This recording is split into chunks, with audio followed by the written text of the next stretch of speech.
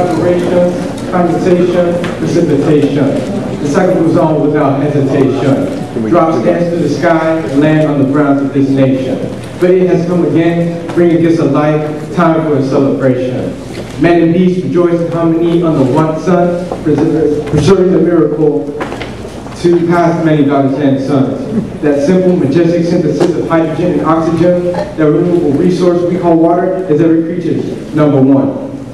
But we have measured out our lives by drops of rivers, lakes, and oceans. Ashes to ashes, dust to dust, drops to drops should be the next verse to be sung.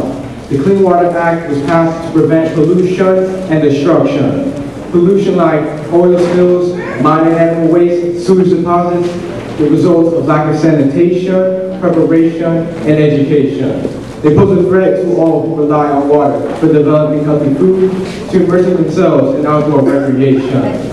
But the act was weakened by two Supreme Court decisions back in 2001.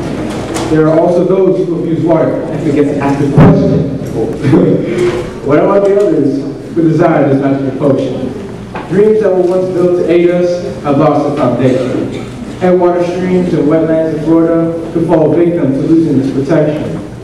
For they serve as our system of water filtration. We should be a mother, reminding Congress, honey, in the past decade, have you attempted to enact legislation? Definition should be revised and refined as I come to one conclusion. Water for all, water for you the world, keep it going.